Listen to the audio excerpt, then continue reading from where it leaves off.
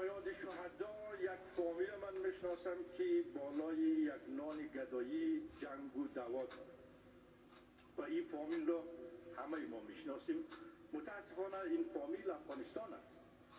ما بالای پول گدایی جنگ می‌کنیم که چرا مثلا به این قوم بیشتر داده شد به آن قوم کمتر داده شد.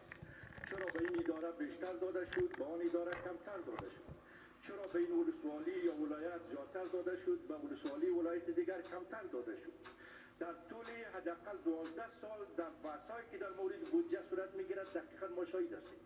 من هیچ چیز دیگر در بحث های این بودجه متاسفانه نشنیدم. نه در کابینه وقتی من عضوش بودم و نه فعلا که از طریق مطبوعات ما تعقیب می‌کنیم و در جلسات کمیسیون های بودجه که ما شرکت کردیم هم عین چیز است.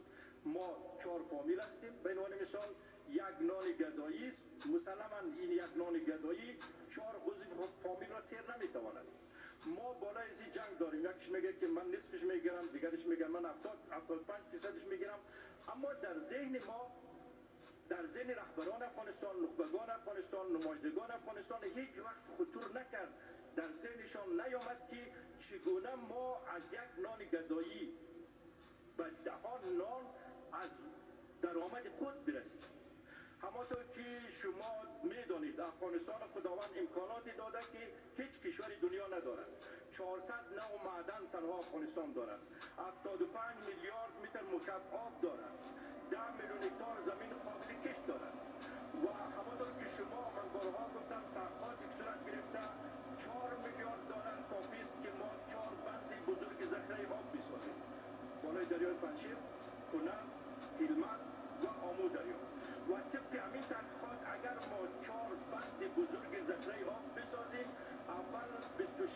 26 یا 30 میلیون افغانا را ما وقت 24 ساعت میدیم. بدون هیچ گونه مشکلی که داشته باشیم. و دیگر اینکه اگر ما چهار بند بزرگ ذخیره آب داشته باشیم فعلا ما دو میلیون هکتار زمین کشت می‌کنیم به دلیل خشکسالی و اگر ما این چهار بند بزرگ ذخیره آب داشته باشیم می‌توانیم ده میلیون هکتار زمین کشت کنیم در آن وقت یک گوری من معتقد هستم که شاید به دو صد افغانی برسد اما هیچ کدام ما در این فکر نیستیم می‌خواهند که 21 بندهای بسازن یک که بزرگ. می‌خواهند که تاپی رو داشته باشن تو تاپ داشته باشن کاسای هزار هزار هزار داشته باشن اینها از نظر اقتصادی یک خیانت است. می‌خواهند که نمی‌دانم راه ابریشم داشته باشن که از دید اقتصادی یک خیانت است. چرا ما به عنوان مثال دو سال بودجه کشافی را اختصاص نمی‌دهیم به بنهای بزرگ ذخیره